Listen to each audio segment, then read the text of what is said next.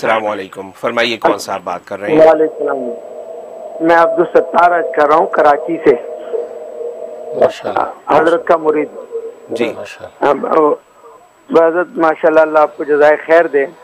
हमारे हज़रत मौलाना यूसुफ लुधियानी शहीद रहमत फरमाया करते थे कि भाई एक मन इलम के लिए दस मन अकल चाहिए। और अगर उल्टा हो जाए कि इलम आ जाए दस मन और अकल हो एक मन तो फरमाया बहुत सारे लोग तो हज़रत, बहुत सारे लोग ऐसी ऐसी बातें करते हैं। अब हज़रत यूट्यूब पे एक बयान चल रहा है, बहुत ज़्यादा कि अगर अहले बैत की मोहब्बत का नाम शिया है तो मैं शिया हूँ। सारी दुनिया के इंसान सुन ले। और ये बहुत बड़े मुबलिक साहब जो हैं, वो कह रहे हैं। तो हज़रत, बताइए क्या अहले सुन्नत वल जमात, अहले बैत की मोहब्बत का नाम नहीं है? बस यही पूछना था हज़रत जी। जी जी। बहुत शुक्रिया अब्दुल सत्तार साहब कराची से कॉल करने का। हज़रत वाला से इसकी तफसील जवाब समझ लेते हैं। बकिया वीडियो देखने से पहले वीडियो को लाइक करें राहम टीवी चैनल को सब्सक्राइब करें और बेल आइकन पर क्लिक करें। शुक्रिया। माशाल्लाह माशाल्लाह। बड़ी अच्छी बात की आपने अब्दुल सत्तार साहब कराची पाकिस्तान से कॉल कर रहे हैं। जब कराची पाकिस्तान से कॉल आती है तो ज़ाहिर है कि हमारा दिल बाग बाग हो जाता है क्योंकि उसी पाकिस्तान की जब वो सरज़मीन से हमने बुज़ुर्गों के सदक़े जो है, उनकी जूतियों के जो है तो फैल ये इलम सीखा। और आज ये अमरीका जैसे कुफरस्तान में बैठ कर इस फैज़ान को फैला रहे हैं और इशात दीन, दिफा इस्लाम और ख़िदमत खल का फरीज़ा जो अल्लाह तबारक व ताली हमसे ले रहे हैं और हमारे बुज़ुर्गों के लिए अल्लाह तबारक व ताली इसको सदका जारिया बनाए। और बाकी आपने जो बात कही कि किसी साहब ने कह दिया कि अगर अहल बै से मोहब्बत करना जो है, वो अगर शीयत है तो मैं शिया हूँ। तो उनको शिया कहने की ज़रूरत नहीं है। अहल बै से मोहब्बत करना तो एन सुनीत है। एन सुनीत है, क्योंकि जो साहब कराम रिजवान मजमैन और तमाम अहल बैत जो अहल सुन्नत जमात ही तो हैं। अहल सुन्नत ही तो हैं, सुन्नी तो हैं, क्योंकि नबी करीम अलैहि वसल्लम ने जो है, वो सुन्नी की डेफिनेशन ही यही की है। कि सुन्नी वही लोग हैं कि ज़ाहिर है कि नबी पाक सल्लल्लाहु अलैहि वसल्लम ने फरमाया कि जिसका सीना कीने से पाक हो, आप सल्लल्लाहु अलैहि वसल्लम ने खुद इस तारीफ़ की सुन्नी की कि अहल सुन्नत किसे कहते हैं? अहल सुन्नत में जिसका सीना कीने से पाक हो। और सीना कीने से पाक सिर्फ़ अहल सुन्नत वल जमात ही का आपको मिलेगा। क्योंकि अहल सुन्नत वल जमात ये वाद जमात है कि जो पॉजिटिविटी पर कायम है। वरना दुनिया के जितने भी फ़िरक़े हैं, वो नेगेटिविटी पर कायम है। इससे आप अंदाज़ा कर लें कि यानी किसी ना किसी दर्जे में एक जो है वो कीना किसी से रख लेना, वो उसके फ़िरक़े का तस्वुर बन गया। लेकिन अहल सुनवल जमात वाहिद हैं कि वहाँ आपको किसी से कीना नज़र नहीं आएगा। किसी से कीना नज़र नहीं आएगा। तो बिल्कुल यही बात है। अब अहल सुनवल जमात का सीना जो है कीने से पाक है। लिहाजा अहल सुनवल जमात जो है, खुद नबी करीम वसल्लम इसी तरीके से खुलफ़ राजदीन, साहब इकराम, अहल बैत सब के लिए अपना सीना खोलते हैं। सब के साथ सच्ची मोहब्बत करते हैं। लेकिन आपको जो है, वो दूसरे फ़िरक़ों के अंदर आप अगर चले जाएँगे तो नतीजे को किसी मसले के किसी अबू बकर सिद्दीक रज़ी अल्लाह के का कीना दिल में है, आज उमर फ़ारूक का कीना दिल में है, उस्मान गनी का कीना दिल में है तो ये एक फ़िरका बन जाएगा। तो गोया कि किसी न किसी का कीना रखना, वो एक फ़िरका बनाता है। लेकिन वायद अहल सुन्नत है, इसका, इसके दिल में किसी का कीना नहीं। अबू बकर की भी उनकी आँखों का नूर है, उमर भी उनके सर का ताज है, उस्मान गनी भी जो है, उनके दिल का सरूर है, हज़रत अली मुर्जा भी जो है, उनके जो है सर का जो है वो नूर है। तो गोया कि वो ये सबको लेके चल रहा है। लेकिन आप अगर देखें तो जिसका कीना जो है वो सीना, कीने से पाक नहीं है तो वो आपको मिलेंगे। अब एक तबका ऐसा है कि जो हज़रत अली रज़ील्ला से इतनी मोहब्बत करता है कि हज़रत अली को खुदा बना देता है। है? वो एक तबका ऐसा जो हज़रत अली को जो है के, के ख़िलाफ़ जो है वो करता है उनको जो है करम अल्लाह वजह कहने के बजाय सवद अल्लाह वजह वो कहते हैं उनका चेहरा स्याह हो जाए ये बदवा देता है जो खारजी हैं। अब देखो वो एक मुस्तल फ़िरका बन गया कि खुलफा राजदीन में हज़रत अली का कीना जिसमें रखा वो एक फ़िरका बन गया। तो बिल्कुल इसी तरीके से तो अहल बैत जो है, अहल बैत, और नबी पाक सल्लल्लाहु अलैहि वसल्लम ने ये फरमाया था, मैं तुम्हारे अंदर दो चीज़ें छोड़ के जा रहा हूँ, दो चीज़ें छोड़ के जा रहा हूँ, उनको जो मजबूती से पकड़ लोगे पकड़ लोगे तो फरमाया कि फिर तुम कभी गुमराह नहीं होगे। एक रिवायत में फरमाया किताबुल्ला व सुन्नति, अल्लाह की किताब व मेरी सुन्नत।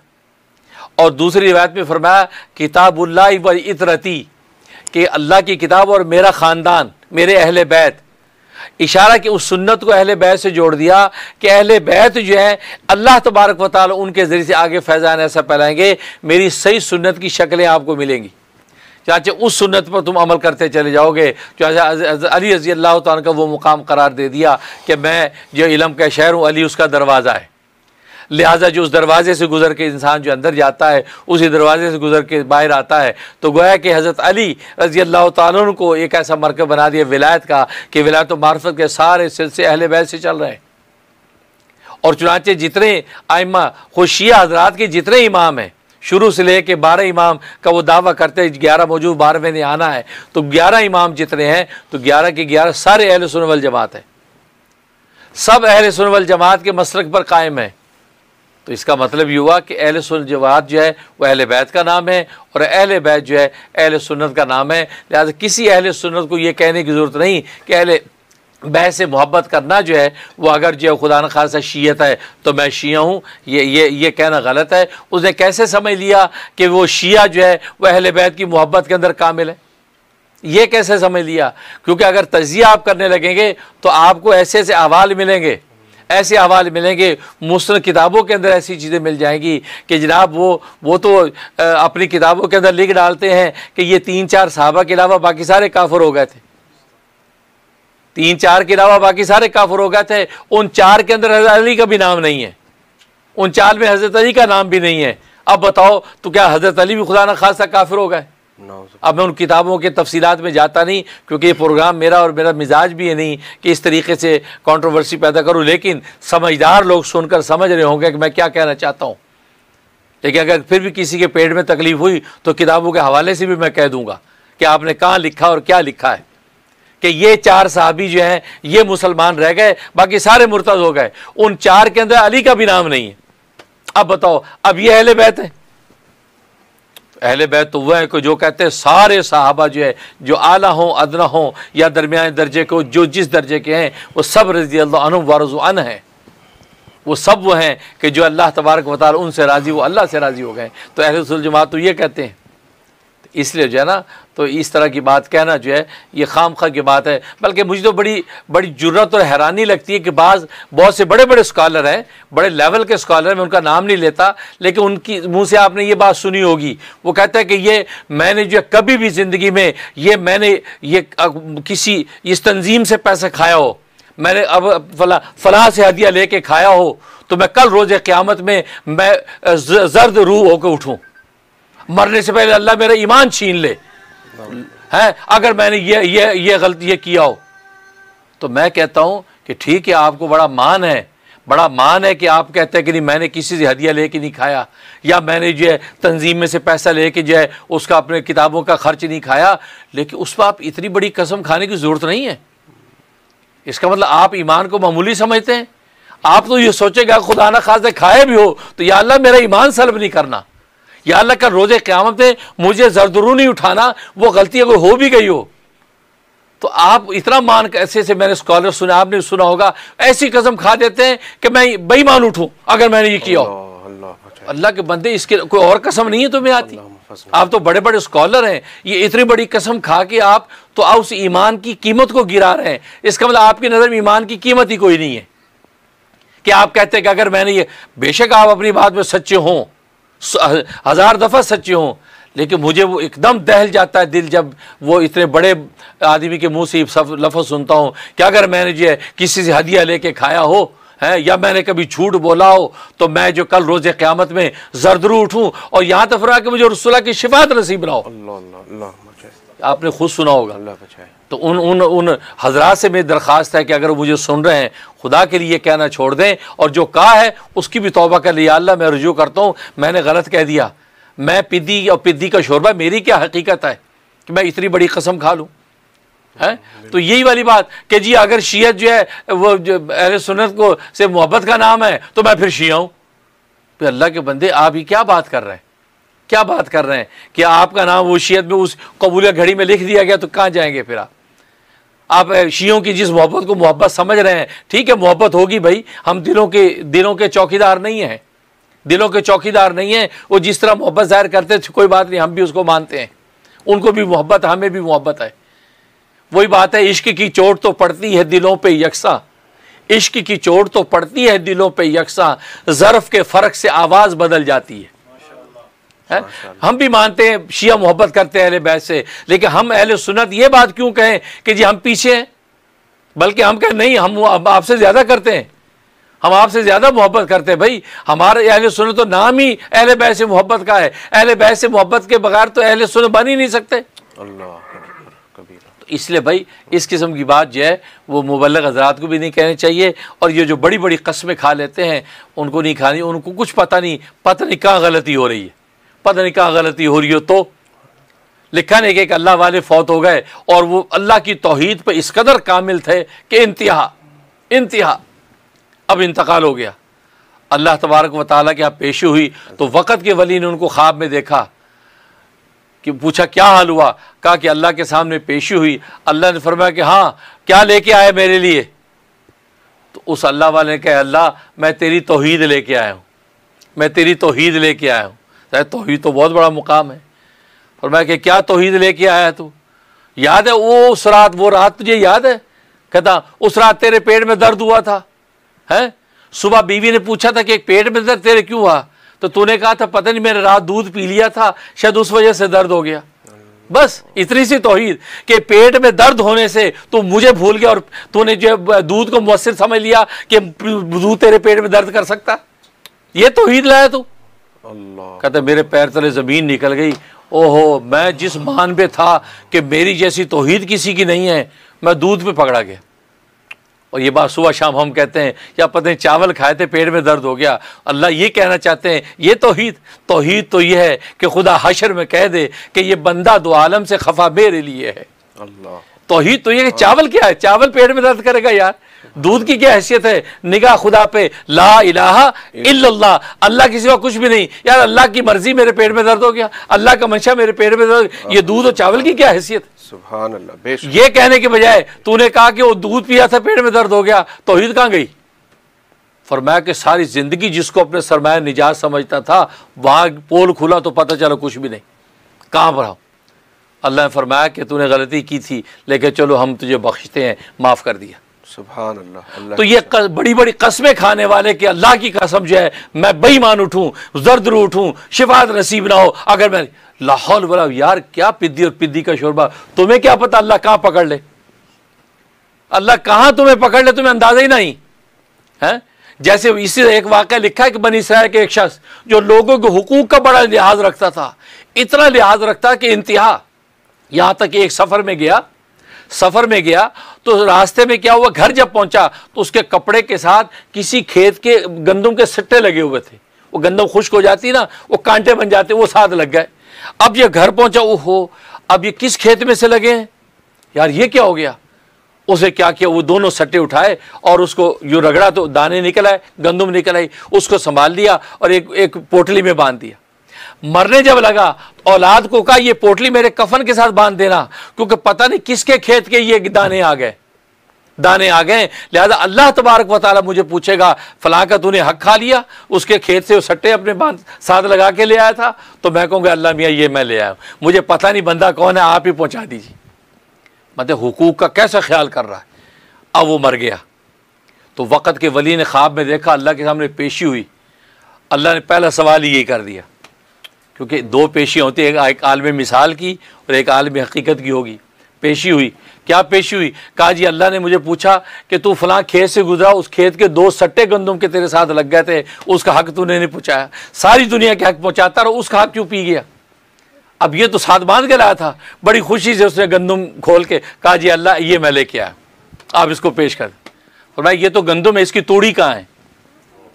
इसकी तोड़ी, इसका भूसा कहाँ है? ये हक्का बक्का हो गया। इसे तो या अल्लाह, वो भूसा तो भूसा का तो भूसा तेरे नहीं भूसा है? उसकी तो मिल्कियत है ना?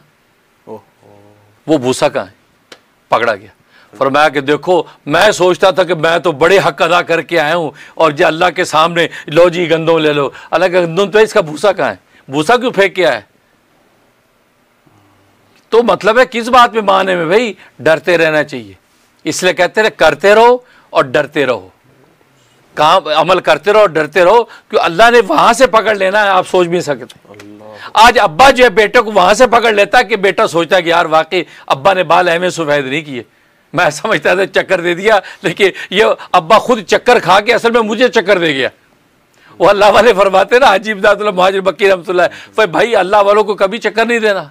अल्लाह वालों को जब तुम चक्कर देते हो वो चक्कर खा के तुम्हें चक्कर दे जाते हैं असल में। तुमसे अल्लाह चक्कर दे दिया। उनका नहीं चक्कर खा कैसे तुझे चक्कर देगा, तुझे पता ही नहीं चला। तो हकीकत ये है। तो भी अल्लाह, रब्बा के सामने हम क्या चक्कर देंगे भाई? हैं? और वो आलम यह होगा, ला यतकल्लमुन मन अजिन रहमान वकाल सवाबा। कि अल्लाह के सामने को बात ही नहीं कर सकेगा। करेगा तो ठीक ठीक करेगा। तो इसलिए भाई इतनी बड़ी बड़ी बातें झट से नहीं कह देनी चाहिए। हाँ बस ये अपना इजहार मोहब्बत ज़िक्र करो। ये नहीं कि अगर ये है तो ये है। कल को कहो जी, अगर ये हज़रत मूसा से मोहब्बत का नाम यहूदियत है तो मैं यहूदी हूँ। यार ये क्या बात, हज़रत ईसा से मोहब्बत का नाम, अगर ईसाई है तो फिर मैं ईसाई हूँ। यार ये बात करने की भाई? है, हम तो वैसे ही मोहब्बत करते हैं। ईसा हमारे सर का ताज, मूसा मूसा हमारी आँखों को नूर है भाई। उस पर ईमान लाए तो हम मोहम्मद ही नहीं बनते। भाई ये काफ़ी है भाई। अब ये ये दावा करने की क्या ज़रूरत है कि अगर यार ये है तो फिर ये है? तो इसलिए भाई डरना चाहिए। अब ये इसलाही नुकता आ गया इसलिए मैंने बहुत ज़्यादा तकरीर कर दी। तो बारा माजरत भी चाहता हूँ तो नाजरी इससे फ़ायदा उठाएँ अगर नफ़े की बात है। अल्लाह तबारक व ताली कबूल फरमाए। आमीन। आमीन। हज़रत इनका दूसरा नुकता भी अच्छा था अगर आप उसको बताना हम्म। चाहें कि वो एक किलो इल्म के लिए दस किलो अकल की ज़रूरत होती है तो फिर इल्म तो आ गया लेकिन अकल बंदे में कैसे आएगी? आइए। आइए दूसरा भी सवाल उठा दिया कि भी एक मन इलम के लिए दस मन अकल की ज़रूरत है। हैं? तो ज़ाहिर है कि जो बात असल में है कि इलम जो है ना इलम इट्स सेल्फ इलम एक नेमत है। इलम को पेश करना उसकी प्रेजेंटेशन कैसे और कहाँ पेश करना ये एक दूसरी नेमत है। एक इलम इंसान को हासिल हो गया उसको प्रेजेंटेशन उसको पेश करने का सलीका नहीं आया। ठीक? और वो अकल से होगा कि अकल के साथ सोचेगा कि मुझे किस जगह पर ये इलम पेश करना है। ये नहीं कि हर जगह इलम भगाड़ता फिरेगा। हर जगह लठ चला रहा है जायज़ नजायज़ की आराम की और जो वो हलाल की। ये नहीं। तो लेकिन वो जैसे बताया कि उलट अगर हो जाए तो फसाद है कि दस मन अकल हो गया एक मन इलम है तो फिर तो वो मुर्गी के अंडे वाली बात हो जाती है। हैं? शेख सादी फरमाते हैं ना कि मुर्गी जो है, वो अंडा देती है आठ आने का। शोर कितना बिछाती है, पूरा घर सर पे उठा लेती है, जैसे सोना उगल दिया। सारा खानदान कहते क्या हो गया भाई? आठ आने का अंडा दिया। और भैंस के पेट में पाँच हज़ार का बच्चा होता है तो भैंस बोलती भी नहीं। तो मतलब भाई, जितना जितना ज़र्फ होता है, उसी हिसाब से इंसान जो है, वो खामोश होता है। तो इसलिए तो असल उसकी एक छोटा सा वाक़ सुनाते जिससे आप समझ में आ जाएगी। दो उस्ताद और शागिर्द है, एक इमाम आरज, एक इमाम है आमश। इमाम आमश जो है, ये उस्ताद हैं, इमाम आरज गालबन शागिर्द हैं। ये दोनों उस्ताद शागिर्द। ये बगदाद के बाज़ार से गालबन गुजर रहे हैं। तो उस्ताद इमाम आमश जो है, अपने शागिद इमाम आरज से कहते हैं कि, यार, बात सुन, ऐसा करो, तुम दूसरे रास्ते से आओ। मैं इस रास्ते से चलता हूँ, तुम उस दूसरे रास्ते से आओ। मदरसे जा रहे थे। तो जी शागिद ने कहा, जी, हज़रत क्यों? मैं आपका खादिम आपके साथ रहना चाहिए मुझे। कहता, नहीं नहीं, तुम दूसरे रस्ते से आओ। कि जी, हज़रत, वजह क्या है? कहते, वजह यह है कि मैं आमश आमश कहते चुंदा। आँखों चुन आँखों के मारती चुंदी यूँ यूँ देख कर, जिसको सही नज़र नहीं आता, ऐसे उसको आमश कहते वो ऐसे थे। आरज कहते लंगड़े को, वो लंगड़े थे, वो लंगड़ा के चलते थे। अब ये दोनों जब चलते हैं तो आप देख कैसी अयत बन रही है। वो यूँ ही चल रहे हैं और यूँ ही चल रहे हैं। अब दो मौलवी इस तरह आ रहे हों तो मजमा हंसेगा ही ना। यार ये क्या ड्रामा हो रहा है? हैं? ऐसे होता है। अब उस्ताद ने शागिर से कहा कि बेटा तुम उधर से चलो, मैं इधर से जाता हूँ। जी क्यों? कहते इसलिए कि हम जो चल रहे हैं ना, हम दोनों की हैत ऐसी मूजिका खेज बन रही है कि ये बाज़ार वाले ना हंस रहे हैं। हैं? कोई दबे मुँह हंस रहा है, कोई हंस रहा है तो इसलिए जो तुम उधर से जाओ, मैं इधर से। तो शगीर कहते हैं, हजरा, हँसते हैं तो हँसते रहें तो। हंस रहे थे। वही गुनाहगार होंगे, हमें क्या है? हम अपने जा रहे हैं अपनी जगह पे। हमारा तो कोई गुनाह नहीं। उस पर देखो उस्ताद शागिद ने ठीक कहा, लेकिन उस्ताद ने क्या कहा? उस्ताद ने कहा कि बेशक वो हमें देख के हंस रहे हैं और गुनागार हो रहे हैं, लेकिन सबब हम बन रहे हैं। सबब हम बन रहे हैं। बेहतर ये कि हम सबब भी ना बने। अलग अलग जाएँगे तो दोनों तरस तरस की आँखों से लोग देखेंगे, रहम दिली की आँखों से देखें बेचारा माजूर जा रहा है। लेकिन इकट्ठे जाएँगे तो हंसेंगे गुनागार होंगे तो गुनाह से बचाना भी हमारा फ़र्ज़ है। तुम उधर से जाओ, मैं इधर से जाऊँगा इसको आप समझ लें कि शागिर्द का इलम था लेकिन अकल की कमी की वजह से उसको सही जगह पे निशाने पे नहीं मार रहा। कहा जी गुनागार होते होने तो हम जा रहे हैं हु किया? जैसे यहाँ कहते उस्ताद उसका इलम था कि अकल उसकी इलम से ज़्यादा थी उसका नहीं बेटा नहीं अलग अलग चलेंगे ना और वो गुनागार भी नहीं होंगे हम अपनी मंजिल पर पहुँच जाएँगे। और इकट्ठे चलना फ़र्ज़ भी नहीं है। भाई ये समझें कि आप दस मन अकल एक मन इलम उसका इस्तेमाल किस तरीके से कर रहा है। ये है तो वही वाली बात है। तो इस वजह से बिल्कुल बात सही। और आज के यही होता है कि आज के इलम हमारे पास जो है वो कहते हैं जब वो क्या कहते हैं एक मन है, है दस मन है और अकल जो है एक मन है। तो फिर नतीजे उसका इस्तेमाल कैसे होगा? जी। उसका इस्तेमाल किस तरीके से होगा? इसलिए जो है इस तरह से इंसान जब चलेगा तो फिर उसका इस्तेमाल दुरुस्त बेशक जजाकल्ला खैर बारीक नुकात होते हैं ज़ता बड़ी अच्छी खूबसूरती से समझा देते हैं।